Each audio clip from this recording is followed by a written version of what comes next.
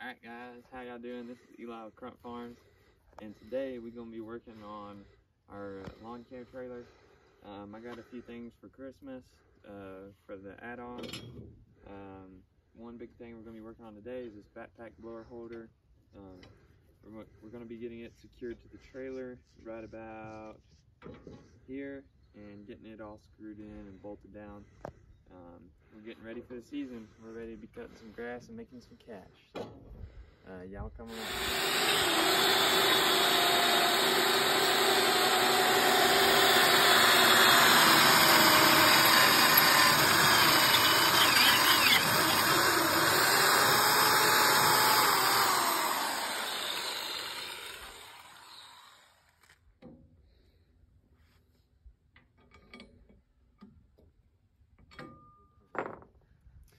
Okay, so we got our blower put on here now. We got the strap that goes across it that holds it in place.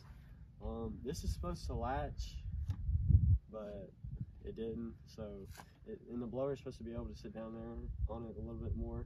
So that way, whenever you go over a bump on the road or something, it's not supposed to be able to fall out. So, but maybe we can just like cut a little bit of the blower off.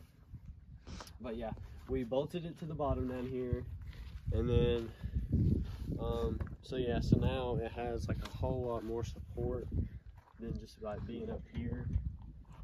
So now it can wobble back and forth. When it wobbles back and forth, you can have this sideboard right here to like go off of and stuff.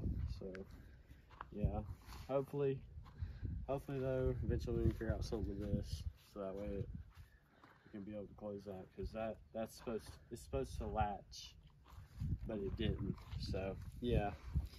Yeah, if we can get this a little, uh, get the blower to sit down in there a little bit further and get it to latch, we'll be all good. And then we can lock it like we need to. Yeah, it's nice and secure though. Besides this, it's staying. It's not going anywhere. I mean, and the bungee cord too wraps all around it. I like the idea.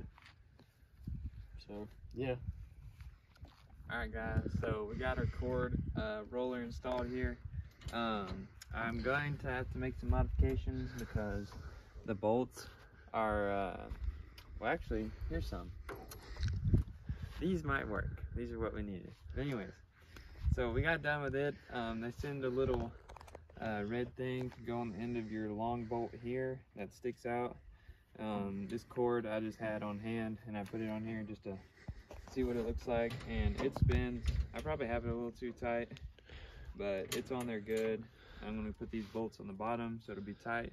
But these products are by Buyers and they are made in the USA, so that's always good to see more people uh, making things in the USA. I don't know if, yeah, we talked about here we had the blower rack put on there.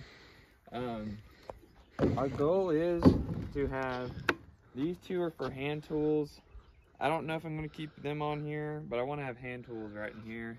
Then we have the blower, and I may put some gaps right in here. And then we'll have our string holder here. And I have yet to buy our uh, trimmer racks. They're gonna go right here. Um, hopefully have two or three weed eaters right here stationed. And then on the back, I think it'll be mostly just open, um, just in case we have to maybe load mulch or pine straw in here. Um, this will be kind of open and all of the tools will be up here and our mower will be kind of right here in the middle. Um, but yeah, exciting to see the, the uh, lawn care trailer uh, coming together. And yeah, we're gonna keep working on it slowly, getting ready for the season. Um, starts in March and we're ready. Getting ready mentally, physically, and uh, getting the equipment prepped. So yeah, thank y'all for watching. Please like, comment, subscribe for more. See y'all next time.